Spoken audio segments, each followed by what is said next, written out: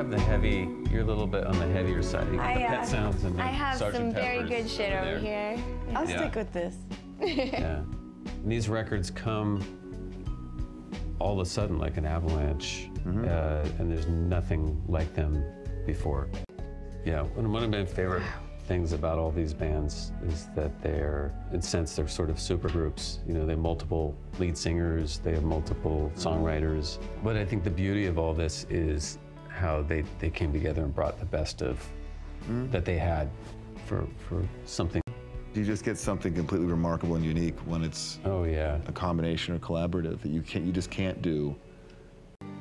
that era begins with this collective idea of these Yeah. musicians and this creative force coming together to make something bigger and then mm-hmm. the era ends when it becomes more about the individual yeah, of mm-hmm. Searching their own life and their own path and uh, and uh, you get all these groups breaking up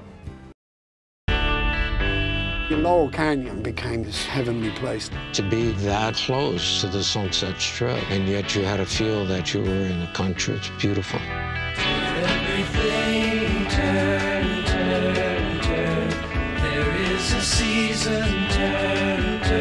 Canyon. It's like an open ticket to a studio, to a record, to everything.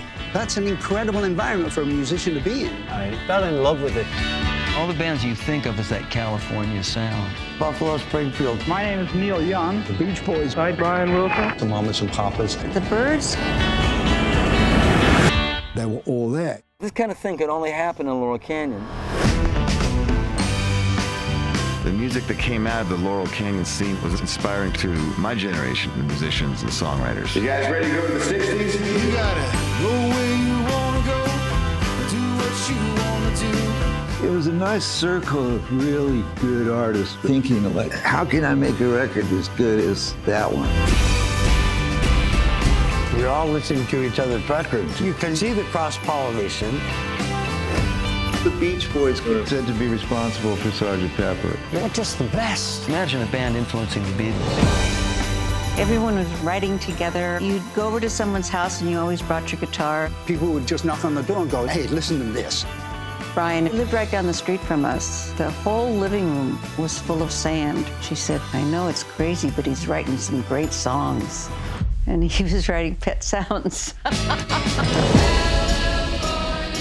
And these records come all of a sudden like an avalanche, and there's nothing like them before. Music happens at a particular moment in time, and, and it changes everything going forward. The power of music is undeniable. I truly believe it can change the world.